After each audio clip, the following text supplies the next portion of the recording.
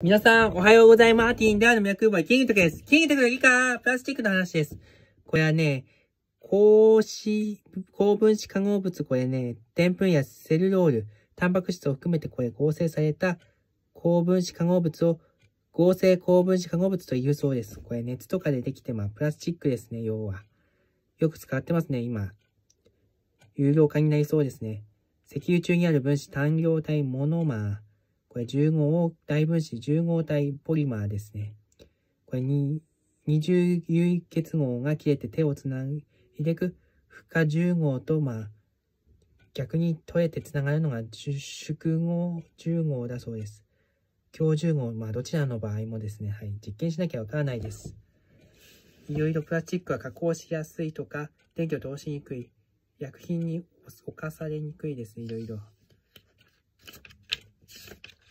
まあ、プラスチック2つあるんですがね、熱可塑性重視と熱硬化性重視によって分けられます。その分類としては熱過重構成重視はね、ポリエチレンとかポポリプロピレン、ポリスチレン、ポリ塩化ビニル、ポリエチレンテレフタラート、ナイロンですね。熱効果の場合は、フェノール樹脂、メナニン樹脂ですね、いろいろ。まあ、合成ゴムいろいろあるけども、はい、タイヤとかでよく使う。摩擦とか摩耗によって強いゴムにしてるそうです。これね、加工構造で作ってますね、いろいろと。はい。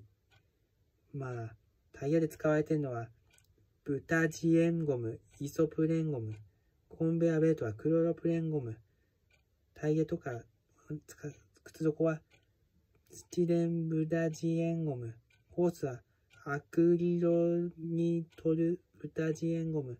シリコンゴムは医療用チューブ。よく使われてますね、介護で。機能性高分子っていうのはね、いろいろな技術によって、まあ、用途や目的に合ったプラスチックを合成することができて、特定の機能を付与したプラスチックだそうです。エチレン CH2 イコール CH2、まあ、重合体とする前、ハロゲンと入れると熱や摩擦、薬品に強い高分子となるそうです。いやー、驚きました。はい。あとは多項質の合成樹脂で、水中のイオンを交換する機能を持つ樹脂をイオン交換樹脂というそうです。これね、粒状にしたり、膜状にしたりすることができ、海水の淡水化や溶液中の不純物の除去に用いられるそうです。プラスチックはリサイクルするそうですね、いろいろと。まあ、回収して工場です。ペットボトルリサイクル品でいろいろ出てきちゃうね。はい。